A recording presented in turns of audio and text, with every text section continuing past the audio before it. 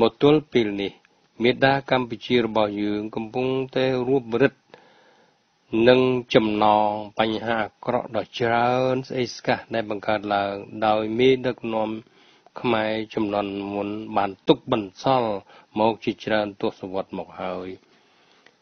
នៅថ្ងៃនេះខ្ញុំសូមលើកយកបញ្ហាធំធំខ្លះមកជម្រាបបងប្អូនឲ្យបានដឹងនៅរឿងពិតទាំងនោះ បញ្ហាទី1ការផ្ដន់ទាទោស នួនជានិងខៀវសំផន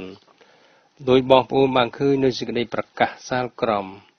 ផ្ដន់ទាទោសក្នុងសំណុំរឿង002វគ្គ1គឺអង្គជំនុំជម្រះផ្ដន់ទាទោសជនចាប់ចោតខៀវសំផននិងនួនជា ដាក់ពន្ធនាគារអស់មួយជីវិតឯលទ្ធផល មានអ្នកខ្លះក៏ពេញចិត្តតែភាគច្រើនមិនពេញចិត្តទេព្រោះគេយល់ឃើញថា ពុំមានយុទ្ធធរចំពោះប្រជាពលរដ្ឋខ្មែរប្រមាណជា3លាននាក់ត្រូវពួកខ្មែរក្រហមសម្លាប់ដោយអំពើព្រៃផ្សៃជាការប្រមាថជីវិតមនុស្សដែលរំលោភនឹងច្បាប់ធម្មជាតិនិងច្បាប់អន្តរជាតិពួកអ្នកដឹកនាំខ្មែរក្រហម ជាអង្គការមួយ ដែលមានការចាត់តាំងរបស់ពួកគេច្បាស់លាស់ណាស់ហើយដែលពួកទាំងនេះក៏ត្រូវយកមកកាត់ទោសផងដែរ និងមួយចំណុចទៀតដោយលោកមេធាវី Morton ខ្លះបានប្តឹងទាមទារសូមឲ្យមានការស៊ើបអង្កេតទៅលើពួកខ្មែរក្រហមធំធំ ដែលធ្វើការនៅក្នុងរដ្ឋាភិបាលកម្ពុជាដូចជាហូណាំហុងគៀតឈុននិងមេក្រហមខ្មែរធំធំខ្លះទៀតតែត្រូវហ៊ុនសែនជំទាស់ព្រោះហ៊ុនសែនខ្លាចរៀលដាលដល់ខ្លួនគេដែរ បើយូងទៅលើប្រវត្តិរូបហ៊ុនសែននិងហ៊េងសំរិនដែលកាសែត Washington Post បានចុះផ្សាយក្នុងកាលកន្លងមកថាមេក្រហមមេខ្មែរក្រហមទាំងពីរនេះ បានសម្លាប់ប្រជាពលរដ្ឋខ្មែរយ៉ាងរង្គាលនៅចំនួនឆ្នាំ1975នៅខាងបុព្វាទិសឯខ្លួនខ្ញុំវិញក៏បានសរសេរជូនពីគំនិតរបស់បងប្អូនថា ដើម្បីរកយុត្តិធម៌ឲ្យបានត្រឹមត្រូវត្រូវទៅយកតុលាការនេះចេញពីប្រទេសកម្ពុជាមកដាក់នៅប្រទេសសេរីណាមួយទើបអ្នករងគ្រោះខ្មែរអាចទទួលបានយុត្តិធម៌បញ្ហាទី2ការបើកដៃឲ្យជនជាតិចិនចំនួនថ្មីមកបង្កើតភាពអនាធិបតេយ្យមករស់នៅក្នុងប្រទេសកម្ពុជា នៅក្នុងទីរួមខេត្តមួយចំនួនដូចជានៅ ខេត្តព្រះវិហារមានការកាប់បំផ្លាញព្រីឈើដ៏រង្គាល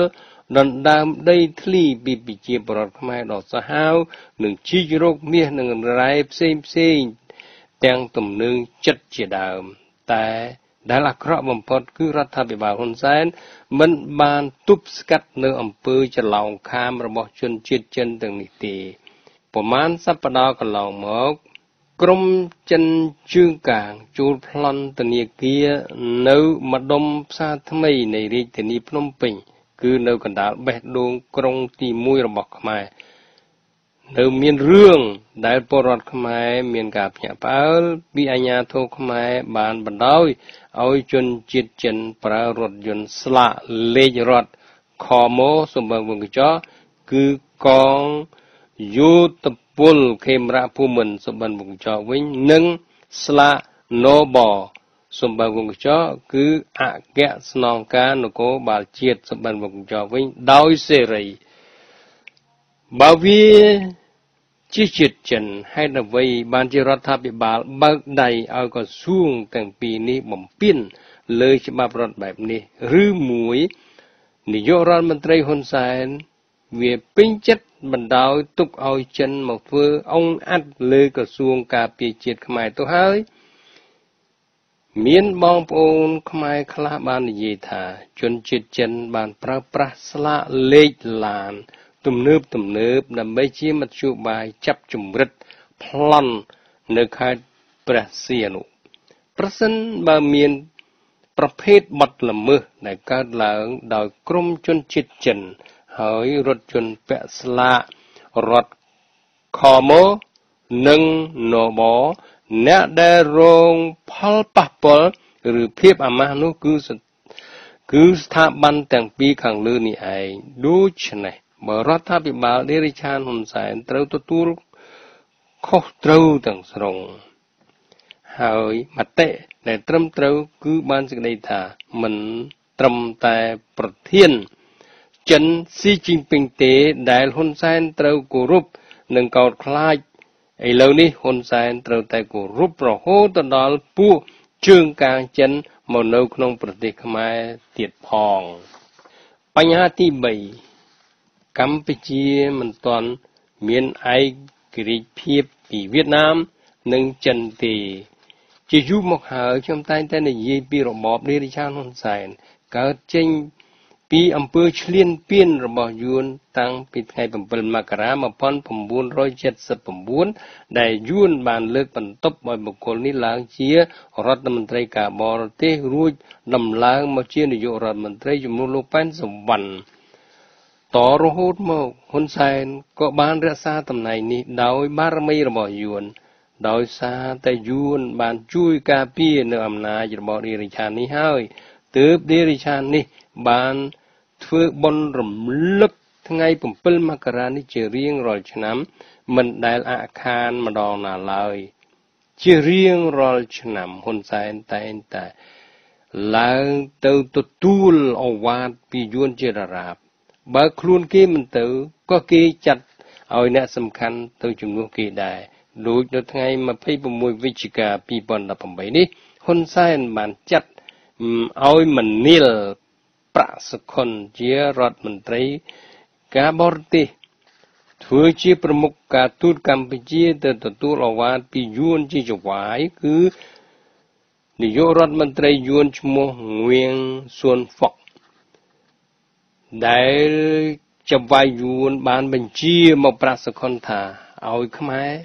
បន្តធ្វើការងារឲ្យកាន់តែជិតស្និទ្ធជាមួយអាជ្ញាធរពាក់ព័ន្ធ និងអាជ្ញាធរមូលដ្ឋានកម្ពុជាខ្លួនឯងជុំវិញរឿងចម្រូងចម្រាសនៃការផ្លាស់ប្ដូរទីលំនៅផ្ទះបណ្ដែតទឹករបស់អនិកជនយួនដែលកំពុងរស់នៅលើផ្ទៃបឹងទលេសាបក្នុងខេត្តកំពង់ឆ្នាំងដើម្បីឲ្យពួកគេមកតាំងទីលំនៅលើដីគោកវិញឲ្យបានដូចតាមអ្វីដែលហ៊ុនសែនបានដាក់ចេញខណៈនោះ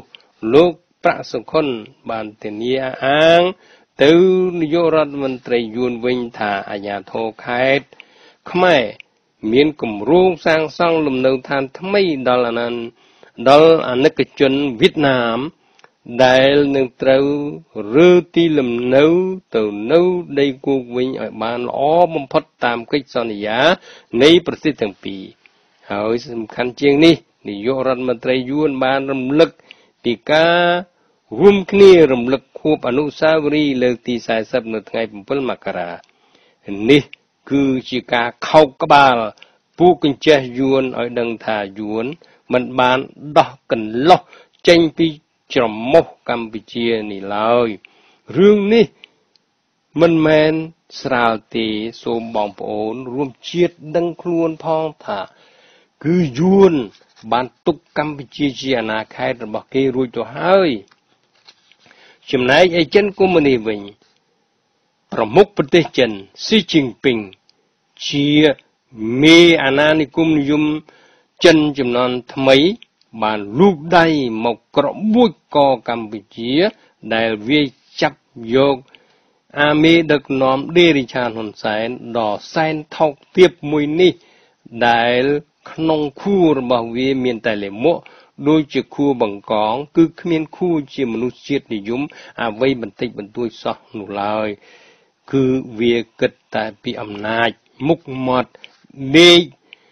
យល់សពឃើញតែខ្លាចបាត់អំណាចម្លោះហើយស៊ីជីងពីងជាស្ដេចចក្រពត្តិចិនចំនួនថ្មីបានកាត់ដាប់ចំណុចខ្សោយឌីរិឆាហ៊ុនសែននេះ ជាប់ហើយមិនដេចឡើយវានឹងប្រឡែងឌីរិឆានហ៊ុនសែននេះឲ្យចេញពីកណ្ដាប់ដៃរបស់វានោះដោយបងប្អូនធ្លាប់បានលើឌីរិឆានហ៊ុនសែនបាននិយាយរួចមកហើយថាបើចិនគេល្អនឹងហ៊ុនសែនតើឲ្យហ៊ុនសែនធ្វើអាក្រក់នឹងចិនមិនដេចកើតបើដូច្នេះការដែលកាសែត Asia Times បានចុះផ្សាយពីថ្ងៃ27វិច្ឆិកាបញ្ជាក់ជាថ្មីថា ការដែលគេបាននិយាយថាហ៊ុនសែន បានធ្វើសម្បទានដីចំនួន45,000អិកតាក្នុងរយៈ99ឆ្នាំ ដើម្បីឲ្យចិនសាងសង់កំពង់ផែសមុទ្រទឹកជ្រៅដែលអាចឲ្យកប៉ាល់ចម្បាំងចិនចូលមកចត បាននោះគឺជាការពិត ដូច្នេះរួមមកវិញ